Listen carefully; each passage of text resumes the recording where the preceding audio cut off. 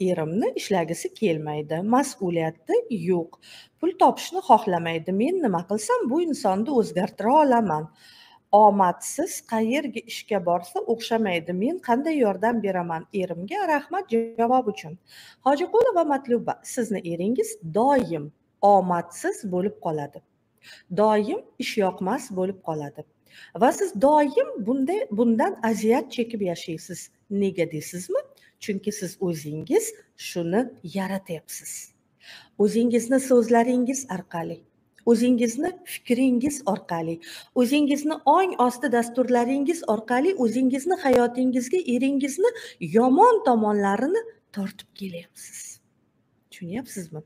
Buning sababi sizni yoshlikdagi erkaklarga bo'lgan erkak zotiga bo'lgan chuqur xafachiligingiz bo'lishi mumkin. Va bu xafachiligingiz erkaklar kuchsiz degan dasturni rivojlantirgan bo'lishi mumkin. Va siz turmushga chiqqaningizdan so'ng turmush o'rtog'ingizni kuchsiz tomonlarini passiv tomonlarini ko'rayotgan bo'lishingiz mumkin va xuddi shu narsani yaratyapsiz. Bilasizlarmi?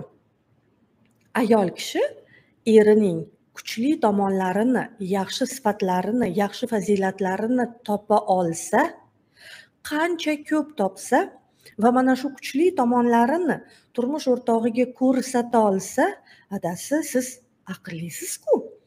Qarang qanday aqlingiz bor? Shunday mana bu narsalarga aqlingiz yetadida. Adasi siz mana bunaqasiz siz mana bunaqasiz deb kuchli tomonlarini ayol erkak kishiga aytsa erkak kishi o'sha narsalarga e'tibor qaratishni boshlaydi.